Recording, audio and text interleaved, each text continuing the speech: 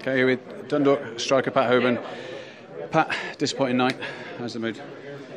Uh, there's a lot of disappointed heads in there. Um, you know, there's a target that we set at the start of the season, and that was to get to at least the playoff spot to give ourselves within a chance to get to the group stages in Europe. And um, you know, we haven't achieved that goal, so there's a lot of disappointed heads in there, um, plus myself.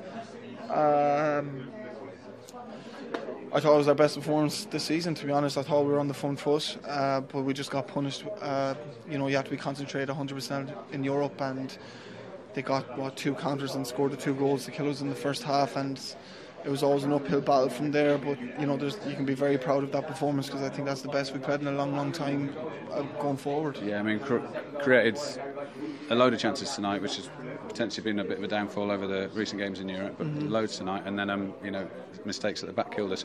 But when we were on the on the getting through on their goal, including the penalty save, found their keeper in fine form again for the second leg on the trot. Yeah, you know, he did pull off a lot of saves over the two legs, and you know, I said already on the other media there uh, that you know I do a lot of video analysis on penalties. You have to in Europe and um, and even on myself. And I watched his last nine, and he dies early. Just depends where he dies, I suppose. And I had in my head I was going to go down the middle, but I just didn't lift it enough, and um, that's just the way it goes. Um, he's a big, big keeper, and he left his lanky legs there, and unfortunately, it's hit him and gone out.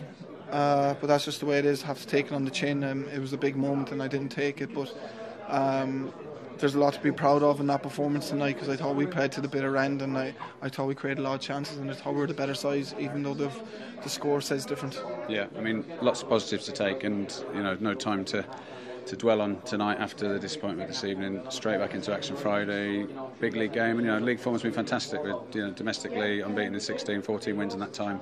Still three trophies to play for. Loads, yeah. loads to be uh, positive about. Yeah, absolutely. You know we can be disappointed today, but not tomorrow. Um, and we need to make sure we keep focused and stay positive and realise the other targets that we that we set for ourselves at the start of the season, and we have to make sure we go grab that now with both hands.